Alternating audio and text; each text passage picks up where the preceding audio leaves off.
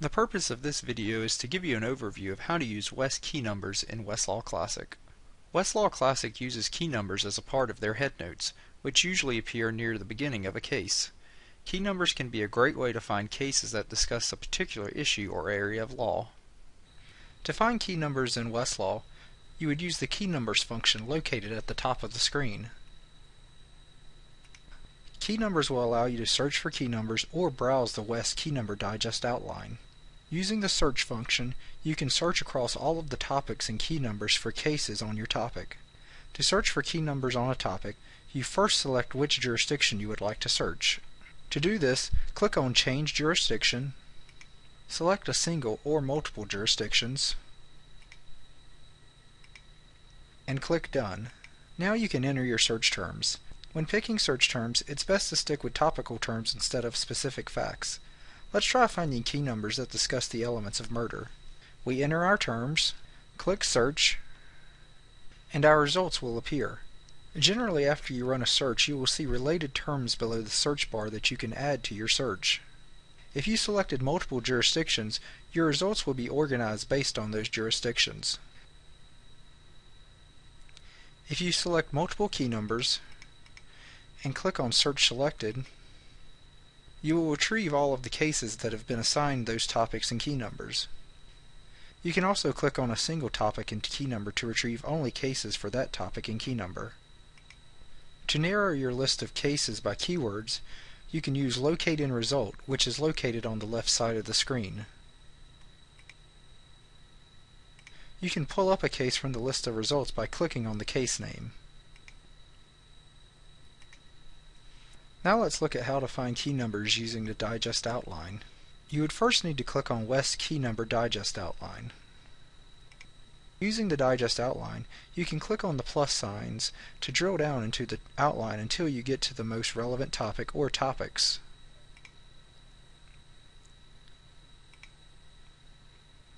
Once you have selected your topic or multiple topics, You would then click on Search Selected at the bottom of the screen. At the search screen you can select to order your results by either most recent cases or most cited cases, whether you want to include secondary sources, and which jurisdictions you want to search. It is also optional to narrow your list further with keywords using terms and connectors and date restriction. Once you've made your selections, then you would hit search and all of the cases that meet those criteria would appear. If you wanted to further narrow your list of results by keywords, you could do so using Locate in Result on the left side of the screen. Now let's enter a case and look at the headnotes. You can locate the headnotes of a case just after the caption and the synopsis. Just like in print, all headnotes in Westlaw are made up of topics and key numbers.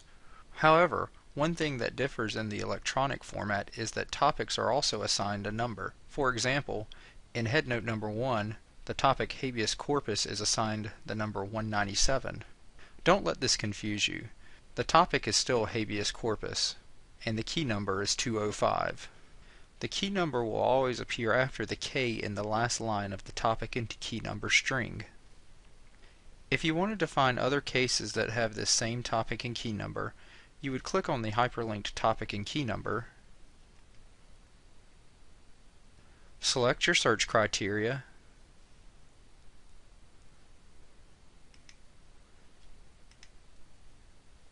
click search, and the results would be all of the cases that have the same topic and key number based on your search criteria. If you clicked on one of the hyperlinks in the subtopics above your key number, such as nature of remedy in general,